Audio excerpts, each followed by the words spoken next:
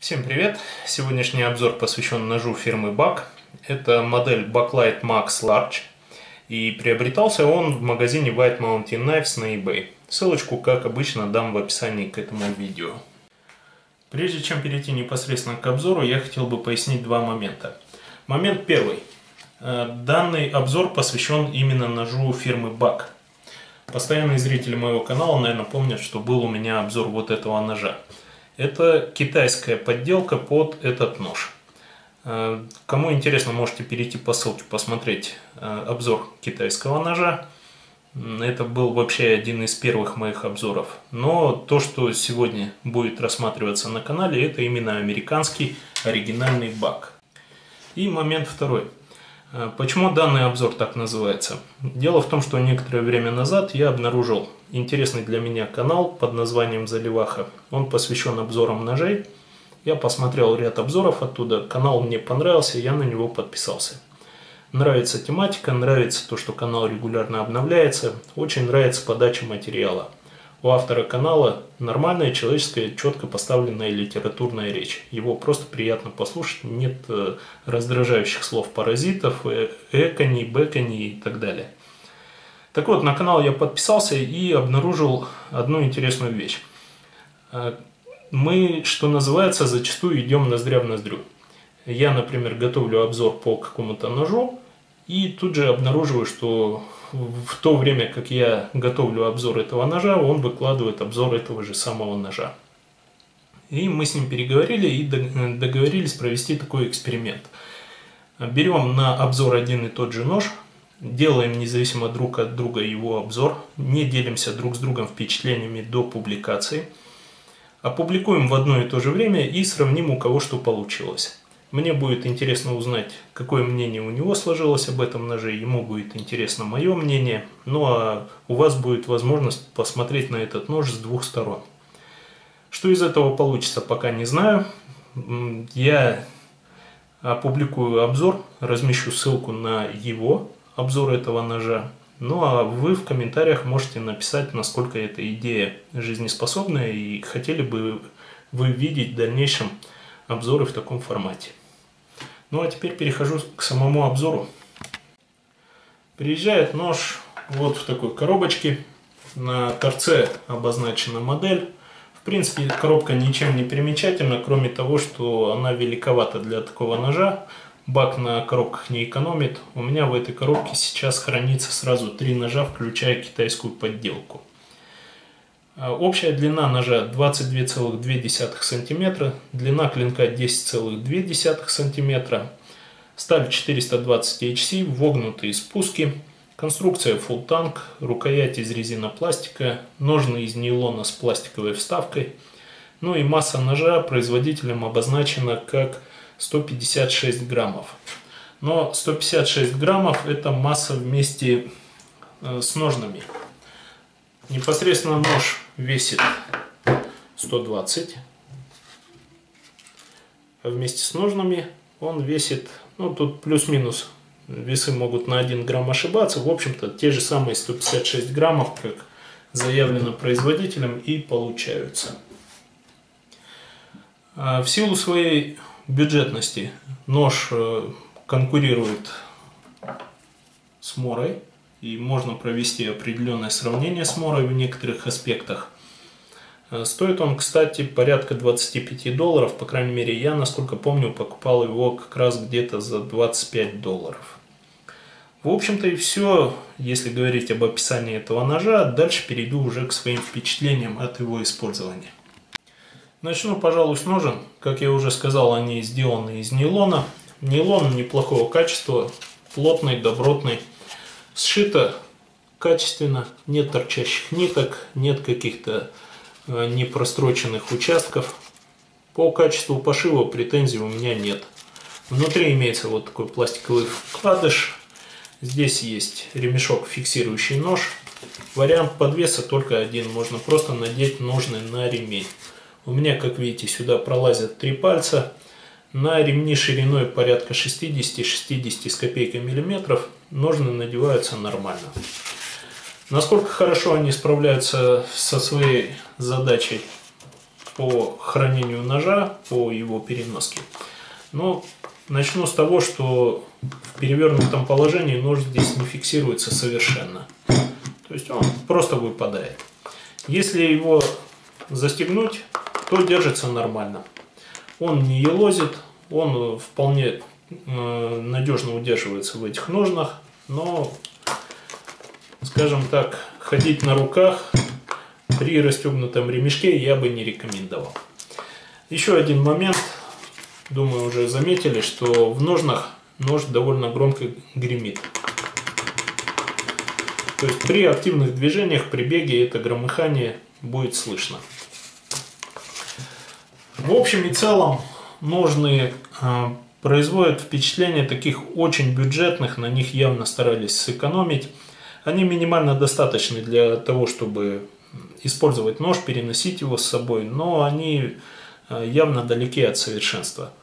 Вполне практичный, но опять же, если говорить о практичности, то лично я предпочел бы ножны Моры, потому что они такие же простенькие, такие же дешевые, но более практичные их, э, в частности, за счет вот этого отверстия и целиком пластиковой конструкции, можно очень легко промыть в любой речке или ручье, и они очень быстро, очень легко высохнут. Так что ножны, на мой взгляд, э, могут заслужить оценку «пойдет» или «так себе». Ну, теперь перейду непосредственно к ножу и начну с клинка. Э, клинок, как я уже сказал, сделан из стали 420 HC, и здесь я хотел бы сделать небольшое отступление для новичков, которые только начали интересоваться ножами и где-то как-то краем уха слышали что-то о сталях, прочитали пару статей. Возможно, у вас отложилось в памяти, что 420 сталь это плохо, потому что китайские производители используют эту сталь для того, чтобы максимально сэкономить. Она самая дешевая, самая плохонькая, и ножи из нее тоже получаются плохие. Так вот, такой поверхностный взгляд является ошибочным. Во-первых, э, стали 420 семейства это не одна сталь, а ряд сталей. И 420 HC, что означает high carbon, или иначе говоря, высокоуглеродистая, по своему химическому составу довольно резко отличается от э, наиболее распространенной 420J2. В этой стали гораздо выше содержание углерода. В силу этого она обладает гораздо лучшими эксплуатационными качествами.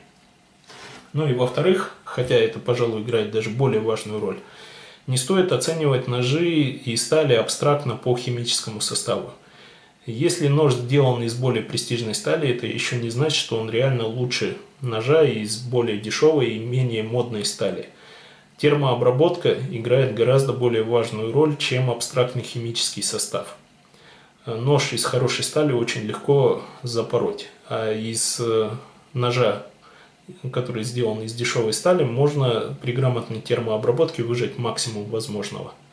Так вот, фирма БАК очень хорошо освоила термообработку стали 420 HC. Несмотря на то, что это вроде бы такая очень бюджетная сталь, у фирмы Бак она получается очень хорошо. В свое время э, процесс термообработки им внедрил не кто-нибудь, а Пол Босс, который знает толк в термообработке.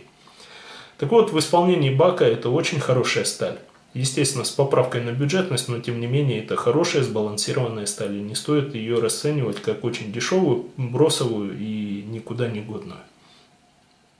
Что касается самого клинка, то Толщина клинка здесь, э, вернее толщина обуха 2,6 мм.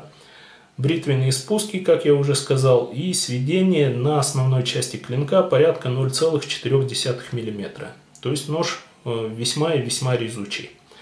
Но ближе к кончику сведения возрастает почти до миллиметра, ну примерно 0,9. И кончик у этого бака довольно мощный. В результате за счет вот этих характеристик клинок получился очень неплохо сбалансированным как универсальный клинок для различного рода задач. У него нет какого-то перекоса в сторону излишней ломовитости или какой-то излишней деликатности исключительно для каких-то очень деликатных резательных работ. Он получился вполне универсальным.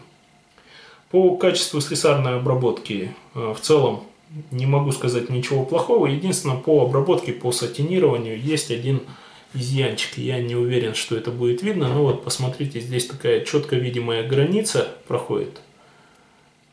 Сатин выполнен по-разному. То есть финиш клинка с эстетической точки зрения не идеальный, но с точки зрения рабочих характеристик клинок очень и очень неплох.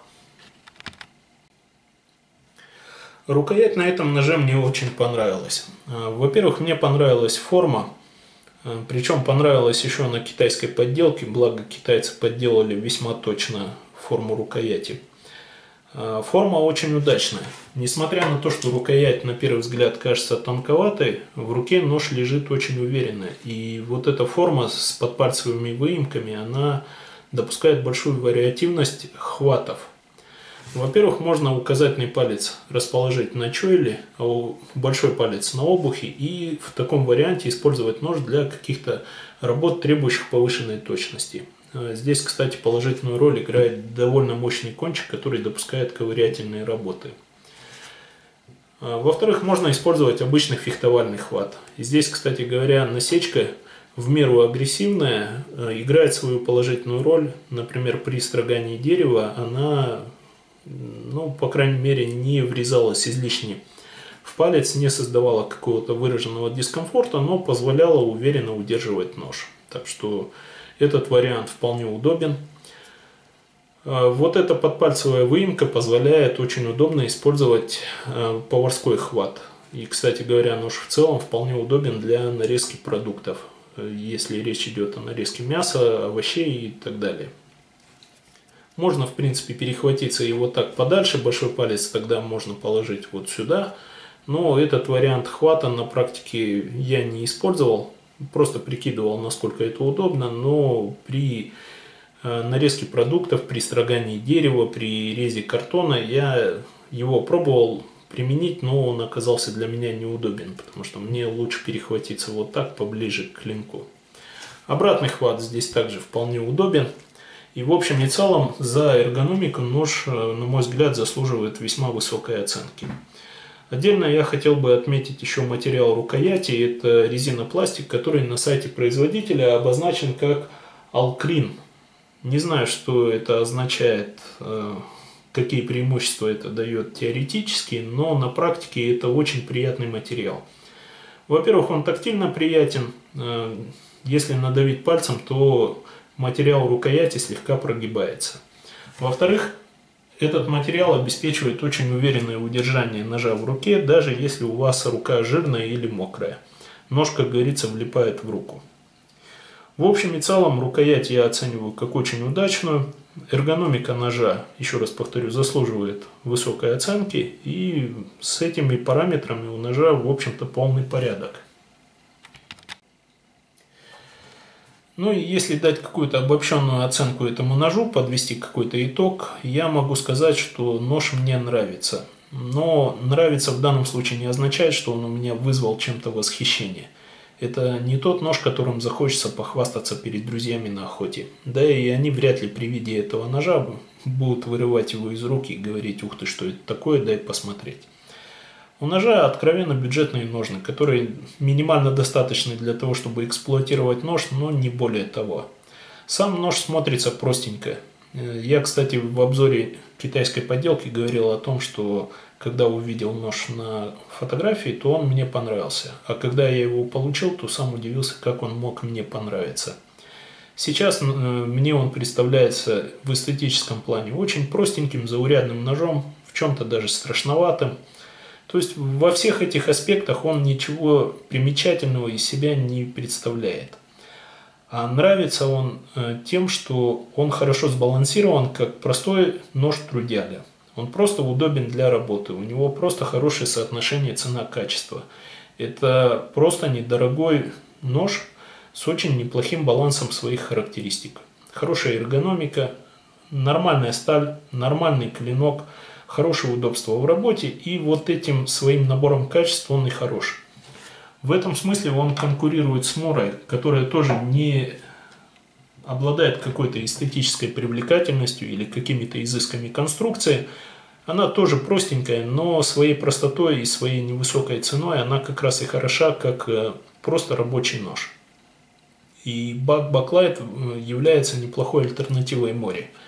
Я, кстати говоря, затрудняюсь однозначно выбрать э, между этими двумя ножами, потому что у каждого из них есть свои достоинства и недостатки по сравнению с конкурентом. У Моры однозначно мне больше нравятся ножны, нравится больше практичностью. В то же время э, бак мне больше нравится своей вариативностью по хвату. Он, например, мне больше нравится при нарезке продуктов. И, кстати, не только мне, жена тоже его предпочитает море, если нужно нарезать овощи, нарезать мясо на шашлык. Так что в плане эргономики бак выигрывает. Есть у него, кстати говоря, еще одно преимущество по сравнению с морой. За счет вогнутых спусков он выигрывает в долгосрочной перспективе. По мере утачивания ножа у него не будет так увеличиваться сведение, как у Моры. В общем и целом, эти, ножи достойны, эти ножи достойны друг друга. А, у Бака, кстати говоря, еще и конструкция Full Tank. Так что, в общем и целом, я считаю, что этот нож заслуживает внимания. И меня, честно говоря, удивляет то, что по нему практически нет обзоров, и он почему-то не пользуется популярностью я думаю, что он как-то незаслуженно обойден вниманием.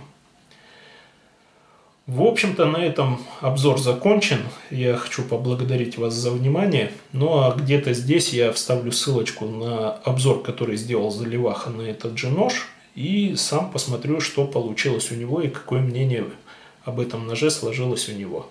На этом все. Спасибо за внимание и до свидания.